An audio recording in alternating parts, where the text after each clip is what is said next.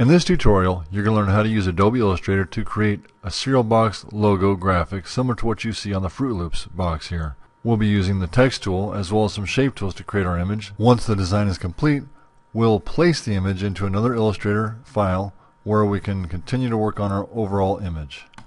To begin with, let's take a look at the template that's been provided for the project, which includes the front panel.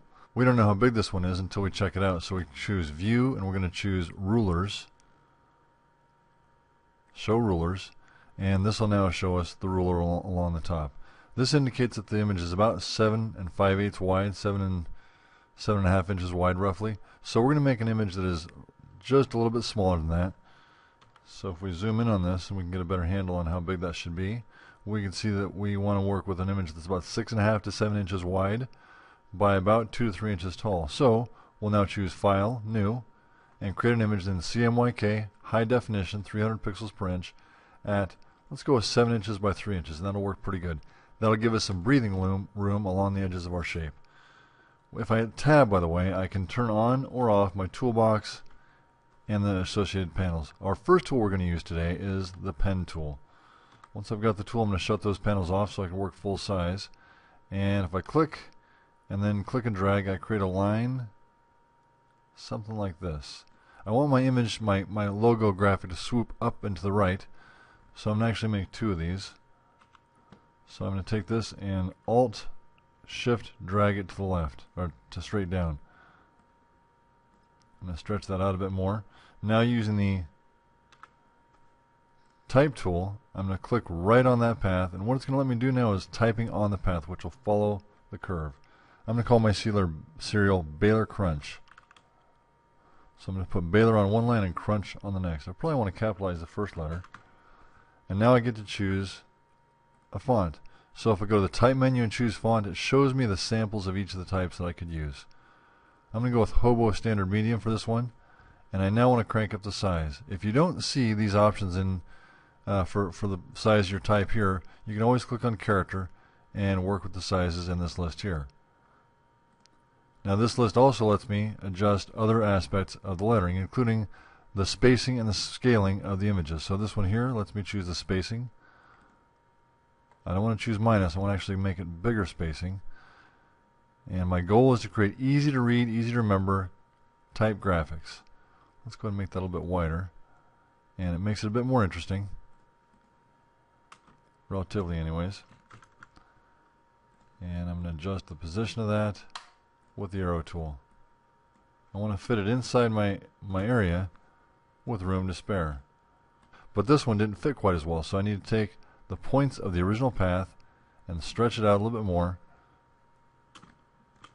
to make it fit. The letter H still needs to show up.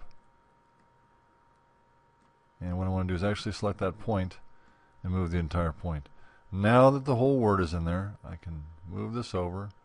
I can rotate a little bit and now I've got pretty much what I was going for.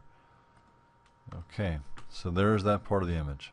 At this point, the text is still text. That is, the computer recognizes it a bunch of letters and can be edited in terms of its letters. If I like the way it looks at this point, what I'm going to want to do is turn it into a bunch of shapes. At this point, we want to take a look at what's in the Layers panel and how each of the pieces in our composition relates to what we see in the Layers panel. Sometimes it's a good idea to duplicate things in order to make sure that we can always back up to a previous step.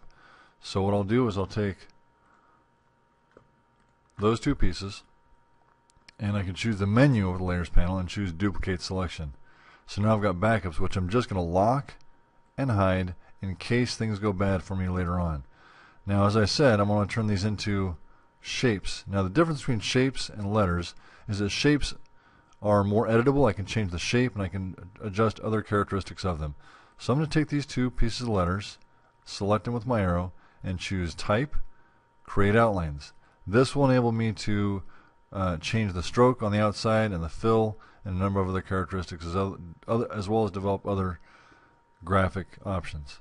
To begin with, I'll select the two pieces, which I've changed into a shape already, and choose Edit, Copy, and then Edit, paste and back. Again, I want to pay attention to my layers panel. The two pasted pieces are now selected and they're behind the front pieces. So let's lock the pieces we're not using so we can pay close attention to those parts there.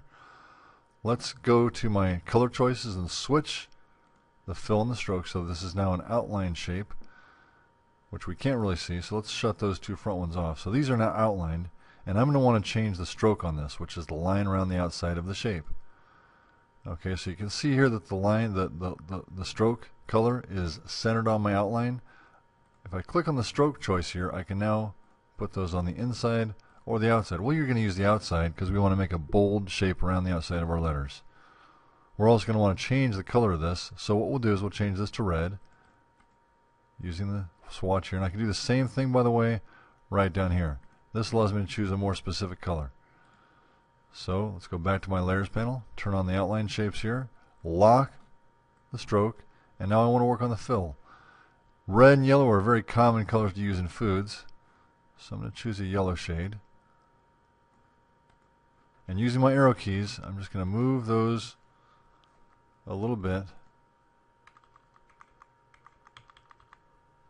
And perhaps I'll make the fill the same color as well. So I'll have a nice depthy image. Okay, so that's got more depth to it than it did previously.